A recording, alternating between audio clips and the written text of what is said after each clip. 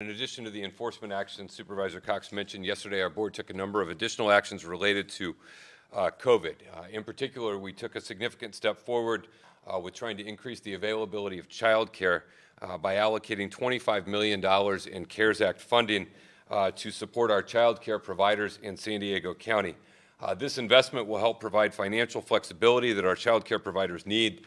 particularly the smaller and nonprofit independent child care providers. Uh, these dollar amounts, which will be distributed to them, will enable them to adjust their procedures to align with COVID-19 safe reopening protections uh, and adjust to the changes in the number of children that they are normally uh, allowed to accommodate in this. We know that it is vitally important uh, for our parents, for our child care providers, for our economy, uh, that we increase the number of available safe child care settings. We also know COVID has put a strain on our child care providers in terms of the financial model and how they normally operate and we want to move to try and ease this burden uh, to help them uh, get up operational and stay operational.